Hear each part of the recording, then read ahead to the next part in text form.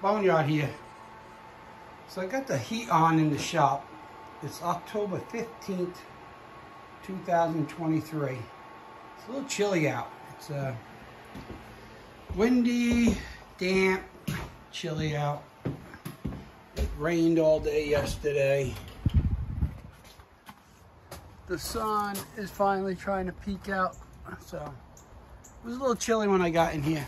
And I also washed uh, the Rugg. I washed the uh, Rugg carpet cut because I'm going to get ready to go to the Long Island Antique Power Association show. I think it's the first weekend in November. And my tractors, a lot of them haven't been started since last fall of that show. I uh, haven't had time to do anything with them.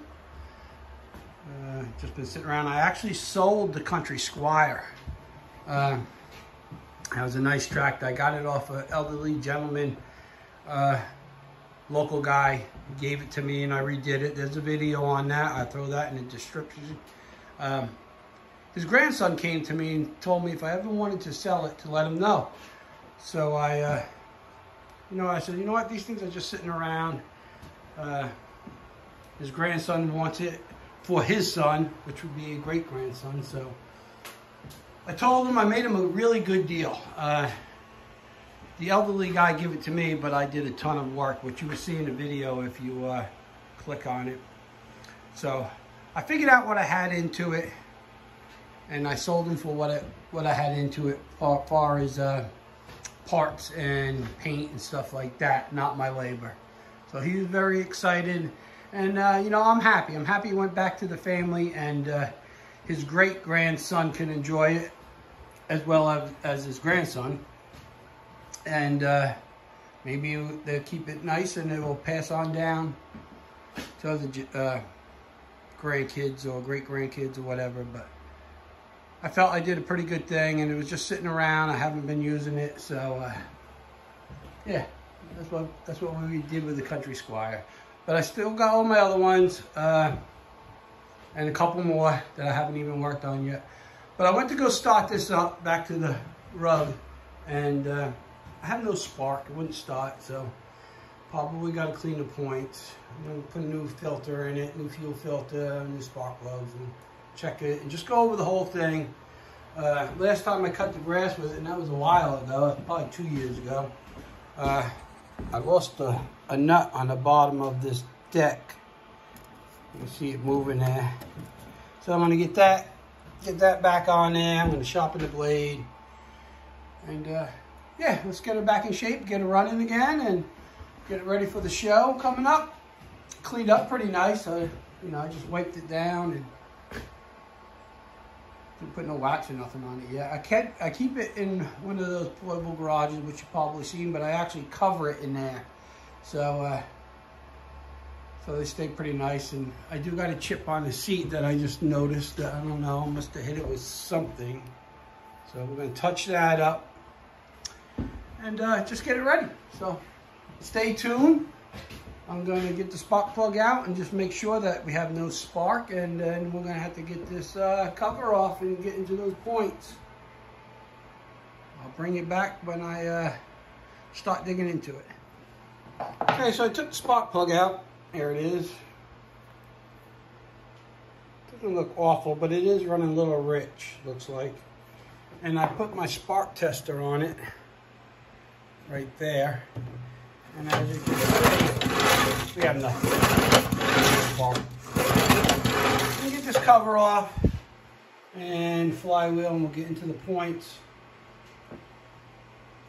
I really don't have any place to set you guys up. Uh, let's see if I can get the camera set up. Hold on one minute. Okay. Hopefully you guys can see. Hopefully I don't block too much. So I'm going to take these two screws out of the air filter. Take that off. This thing used to start right up too. I've never had any problem with it.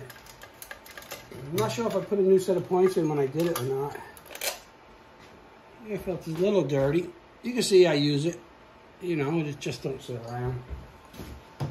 clean all that up. Clean the grime off the carburetor. All right, so now we're gonna take the 7 16th, we're gonna take out the, uh, the bolts to hold the shroud on.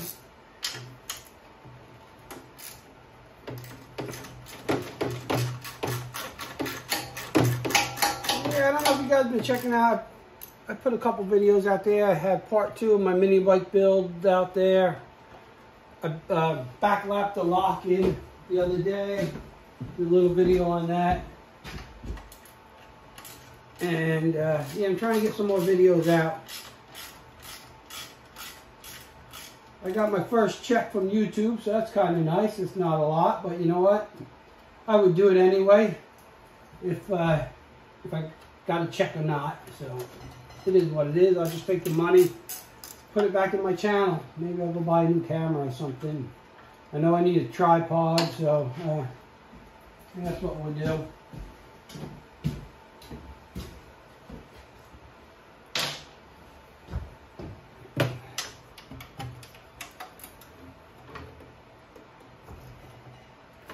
Tighten that one up. Hopefully I don't have to mess with this hood to get the shroud off. I don't really want to take the hood off.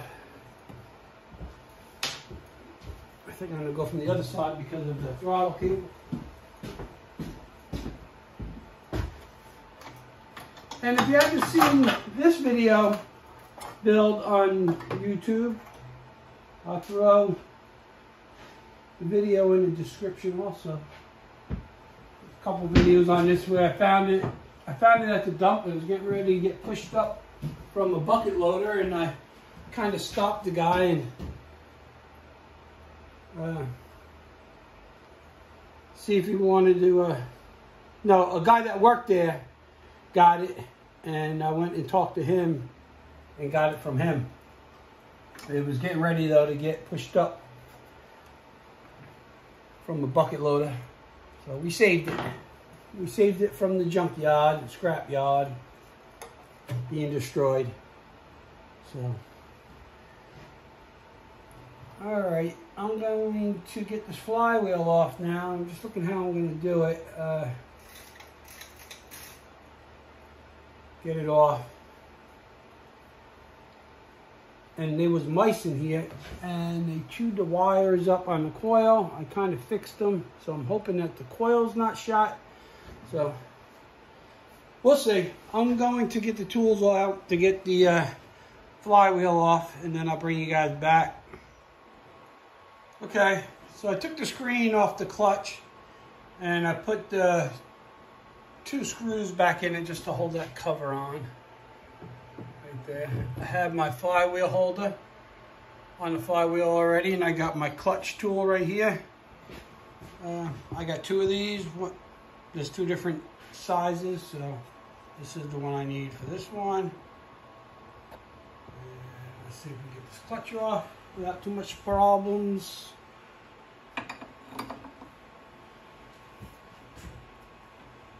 All right.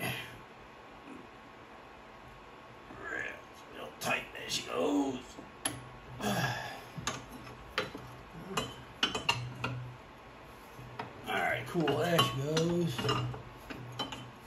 Okay, we loosen that up. And it spins nice, so the shaft's nice and clean. We'll take that off. We'll take the washer off.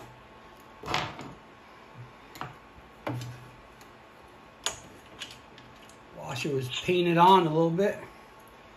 So now we got to get something on here, and uh, I don't know if I'm going to be able to get my a knockoff tool on there with the hood. So maybe I'll just get a bar under it and I'll give the flywheel a smack on the side. Sometimes it comes off that way. So hopefully it don't come off too hard. I got a screwdriver. Let get a brass hammer. I like to use a brass hammer on this stuff.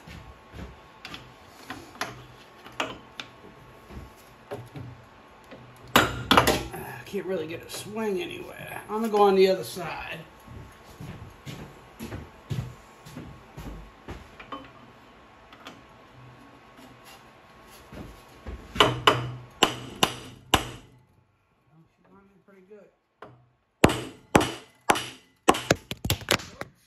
About that, guys. I knocked you over. We'll leave that in there. I guess I must have shook the, uh, the lift a little bit. Anyway, I'm going to get this flywheel off. I'm going to shut the camera off. I'm going to do a lot of banging. Uh, try not to to uh, take this hood off. I'll bring it back when I get the flywheel off. Okay, so I got the flywheel off. It was a little bit of a pain in the neck, and I did what I wasn't supposed. I did what I didn't want to do is break a fin. Hammer. I guess I hit it with a hammer a little too high and broke the fin. It kind of kind of ticked me off, but I mean, it's not going to hurt anything. So anyway, that's that. It was on there pretty hard. I don't know why.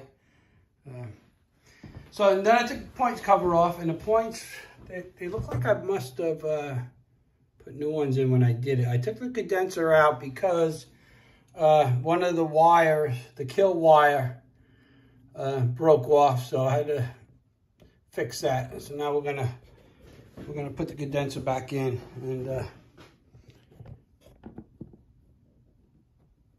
just wanted to show you guys this tool that my dad had. So here's a condenser. Put the spring on top, and they usually come with a little white cap that you push the spring down to slide the wire in. But my father has this condenser tool, Briggs & Stratton condenser tool. So you put the condenser in there, and you put the top of the condenser, come on, focus, and then, then you can squeeze it down and then you can put your wire. Pretty neat. So let's uh, get the wire in there where it goes. These two, one goes to the coil, and I can't see a thing, and one goes to your kill. Let's get both of those in there, like so.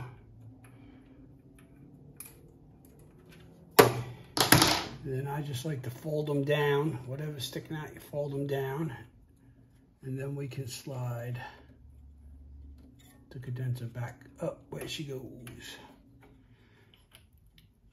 And I'll put the little hold down on and then we will get a feeler gauge and we will gap it at 20 thousandths. The points are closed right now. I did that before I took the condenser out. The points are at the closed position. So let me get my feel gauge.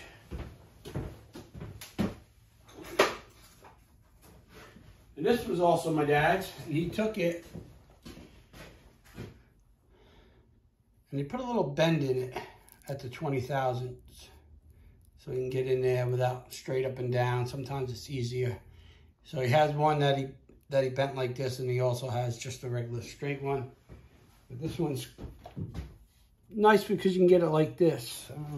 If you can see, yeah. So let's bring this here.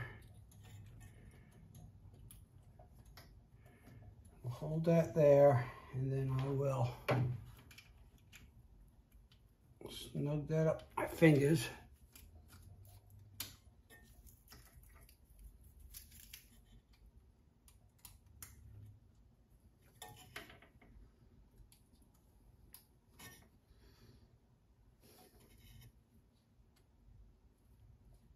Perfect.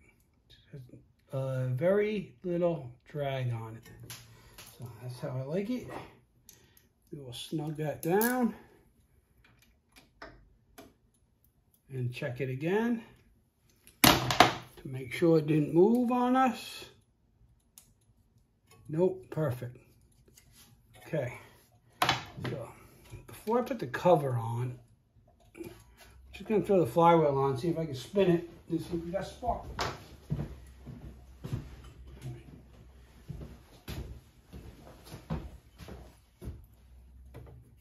On the other side.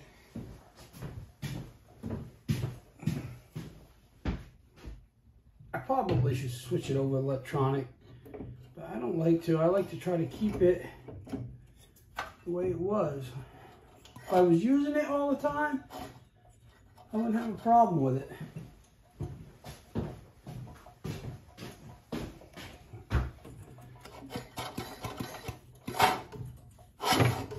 Uh, see if I can get this to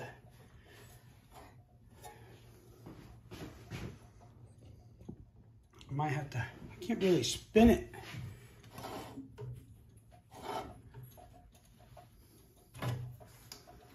We'll make sure I get good ground.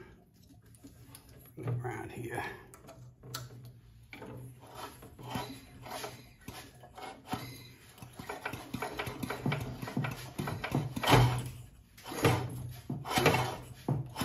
Uh, still don't look like any spark. Let me uh, let me see if I can get something better set up here. I'll be back. Okay, so we got spark. Uh, I don't know what I was thinking. I had a brain fart, I guess. I closed the points and then adjusted them. The points got to be open and then you adjust them. So, had a brain fart, readjusted them, got spark. Going to throw this all back together and uh, we'll see if it starts up. I'm not going to video it all going back together. You guys know how it goes back together. So let me get it back together and uh, then we'll see if uh, she's going to go. Hopefully I don't have to get into the carburetor. Okay, we'll be back. Okay, so we got it all back together. So uh, let's see if it's going to start. I just want to check the oil quick. I know I have gas in it. I'm pretty sure I got oil in it too, but let's just check. It's, it's a little low actually. There's enough to start it though. I'll top it off when I go over the whole thing. So let me get you guys set up. Uh, see if we find a good spot for you guys.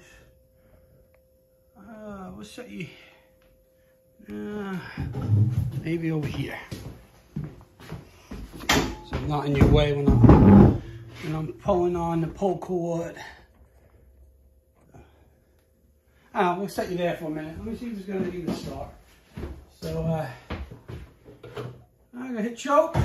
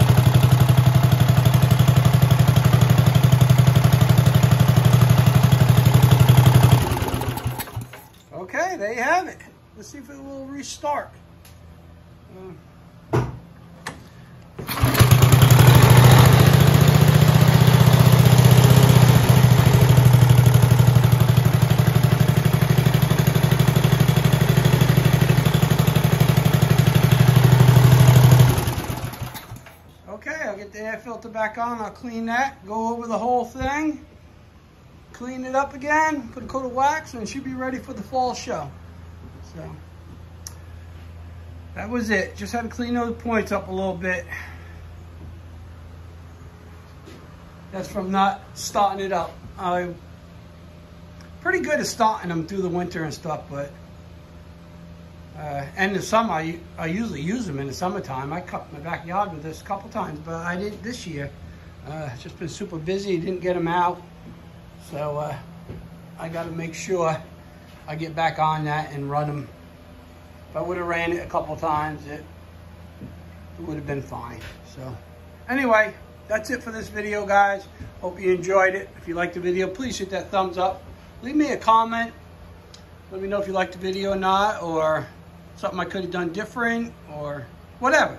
Say hi, thumbs up, whatever. Just uh, leave me a comment. And if you haven't already, please hit that subscribe button. Going to try to get some more videos out now that, uh, you know, it's in the fall. My business is slowing up a little bit. Uh, we're going to get some uh, mowers in that they're going to want, the commercial guys are going to want service for the winter. So that's going to be coming up. But uh, I want to get some more of these videos out. Uh, I got a couple old engines I want to see if I can get running. I'll do a video on one of those. Uh, I'm going to try to get one of those to the show, or maybe both of them, or a few of them. Uh, so look out for that video. All right, that's it for the uh, Rugg carpet cut. If you like the video, like I said, hit that thumbs up, smash that like, you know, subscribe, everything, do everything. And uh, we'll see you guys on the next one. Be safe and Boneyards out.